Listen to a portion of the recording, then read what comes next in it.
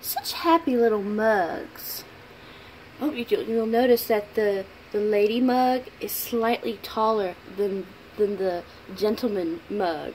I bet he's self-conscious about it. But she's got her eyes closed. She ain't even worried about it. I bet she's all like, hmm, I'm just happy to be a snowman, a snowman lady mug. And he's just like, I'm standing next to a snowman lady. This is awkward. Yes, this whole thing is awkward.